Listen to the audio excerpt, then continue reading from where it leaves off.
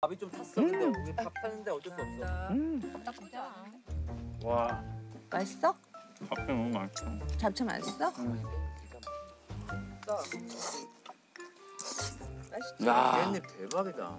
잡채 너무 맛있다.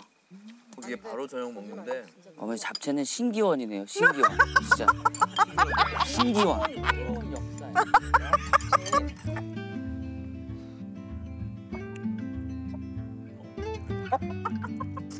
아 어마어마하네요. 진짜 너무 맛있어. 네. 어, 너무 맛.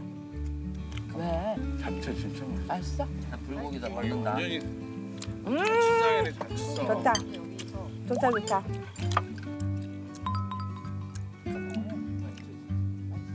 불고기다 먹는다.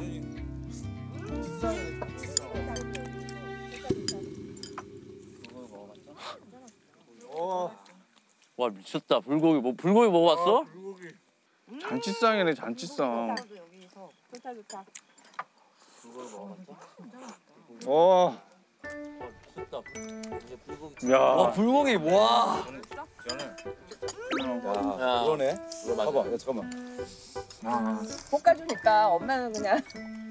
음, 너무 맛있지. 이거지. 음, 맛있죠. 난 불고기 덮밥으로 이렇게 이렇게. 아, 알지? 진짜 맛있다. 간 맛있다. 음, 맛있게 먹어서 난 너무. 그럼 나는 음, 가기 전까지. 가기 전까지 이걸 계속 봐야 되는 거네. 불고기 와, 먹어봤어? 불고기. 정말 고사리 같은 손으로 이걸 한 거예요. 고사리 같은 소 리. 음, 맛있다. 어. 잘 먹어. 진짜 맛있다. 깻잎 한번 먹어봐. 진짜 맛있어. 깻잎에서 끝났다. 맛있다. 깻잎에서 끝났네.